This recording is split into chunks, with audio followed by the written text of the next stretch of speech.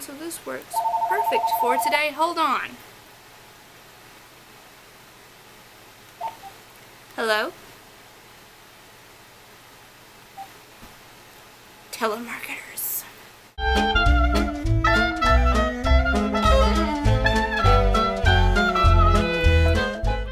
Happy or sad?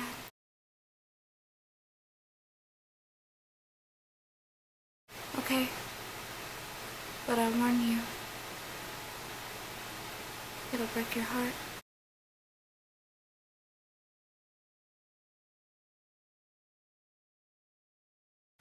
Hey guys, it's me. So, as you can see, I've done this 1920s Peaky Blinders inspired look. And if you'd love to know how to do this, stay tuned and get ready to see how I did it. Hey guys, so we're gonna film. Um, don't know what just happened with the lighting, hopefully that doesn't interfere with anything. I feel like y'all can see me. My makeup's not a good match because most of my makeup is packed. Also, I know you all know I wear cruelty free, but because most of my makeup is packed to go to school, a lot of the items I'm going to be using are non-product or cruelty free products. Sorry, but I really wanted to get this look out, and I am transitioning, so from time to time, I am going to use some products that aren't cruelty free just because they're all I have.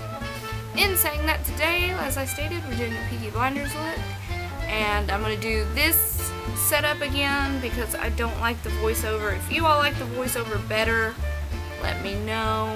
But as for now, this is what we're doing. Like I said, don't be afraid of my buns. I'm wanting Grace's kind of wavy hair from the show, and like this is a good way that I can get some natural waves, and it's not, I, I don't use any heat, so it's really good for my hair. So it's gonna have a little bit of, you know, some authentic 1920s type makeup, but a lot of this is just strictly inspired by the show. Um, I found a way to mix, you know, Grace's look and May's look.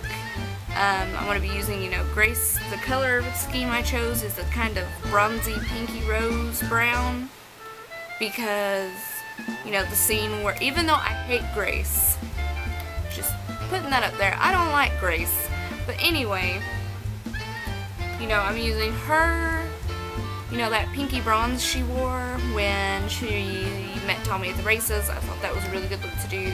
But I'm also going to incorporate some of May's, you know, smokiness to it. And a lot of the edgy stuff is gypsy-ish type theme. I'm going to be using, you know, the kind of edgy smokiness for kind of using the gypsyish things will be for Esme, and you know the it we all know who the edgy's for. That's a shout out to Polly.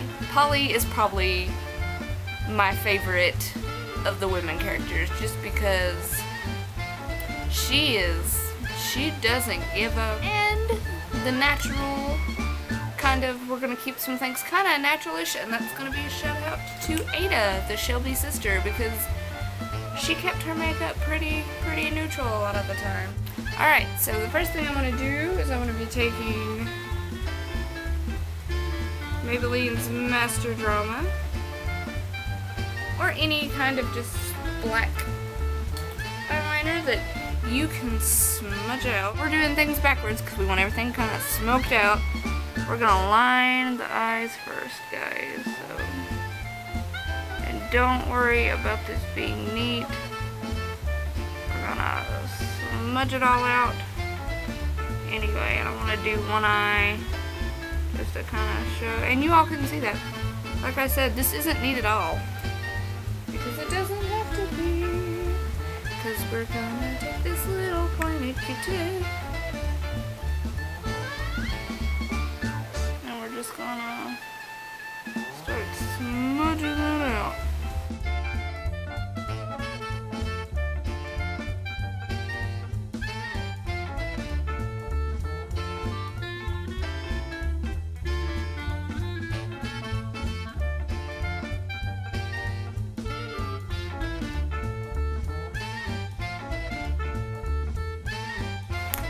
Now I'm going to be using the Naked palette, and I'm going to be taking the color Toasted, because as I said, I really liked Grace's that pinky bronze thing she had going on. So but you all feel free to use whatever you want.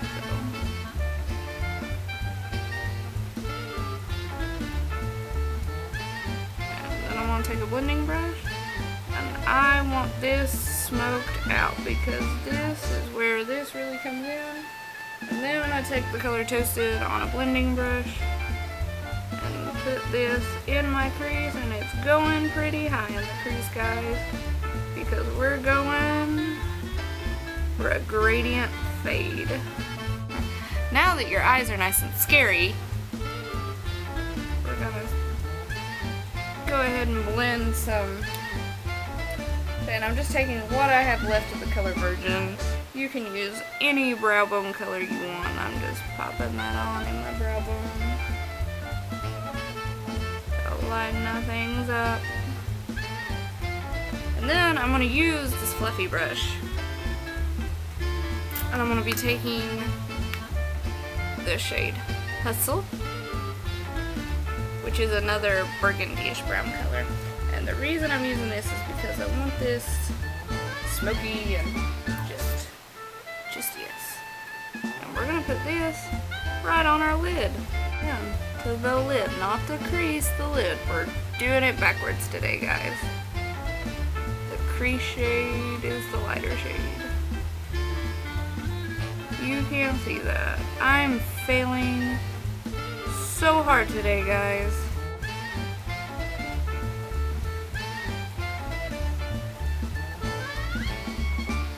Get this lovely little thing going on. And I'd like to define this a little bit. So I'm going to be taking Dark Horse, which is just appropriate that we use something with the word horse in it. My brush, enough for both eyes. And I'm going to just put this on the outer half. Just the outer half of the eye. I'm not putting it up in the crease, I'm just kind of putting it on the outer half and blending it in to Hustle. I'm gonna wipe the brush off and just take where it's got every color on it now and put that up in the crease and blend and there you have that. Down on our lash line, so I'm taking my IT Cosmetics smudger brush. I'm gonna start with Hustle. Smudge that all through there. Hustle is going all across the lash line and up into the lash.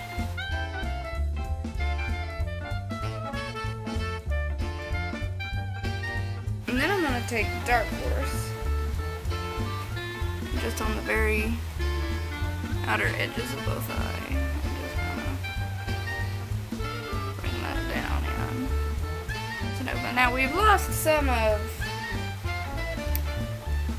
some of that black. So I'm gonna go back in with the eyeliner.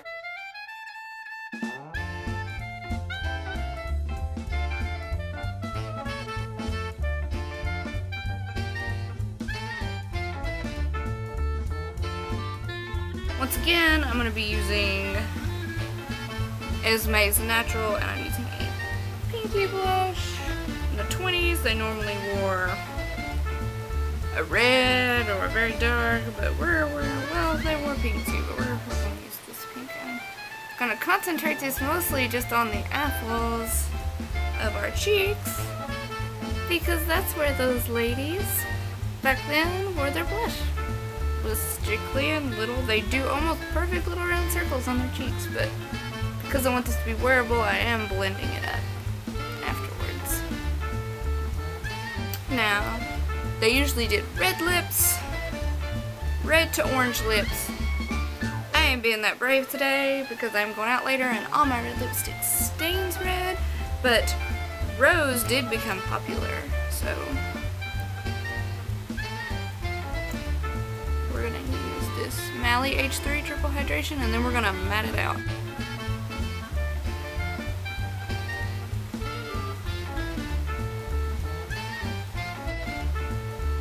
Okay, something I did, guys, I extended, extended the shape of my lip, but when I blotted it out, it kind of took it away, so...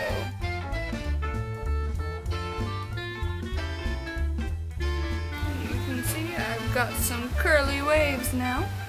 If you need a 1920s headpiece, something I suggest doing is looking around at all of your necklaces and seeing if something in your collection will work.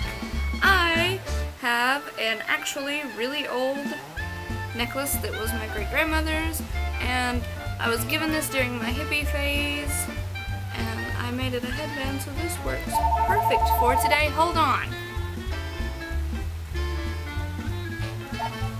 Hello?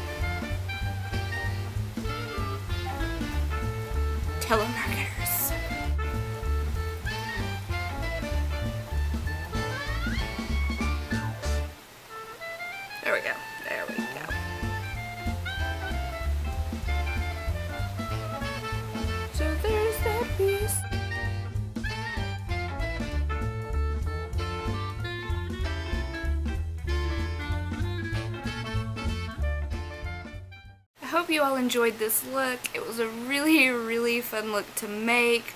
I absolutely love the show. I can't wait for you guys to see it. I have went way over time. My camera's about to lose all of memory, so if you like this video, comment, subscribe, thumbs up. Don't forget to follow me on social media in the links below. I love you guys so, so much, and I cannot wait to see you all next week. Bye!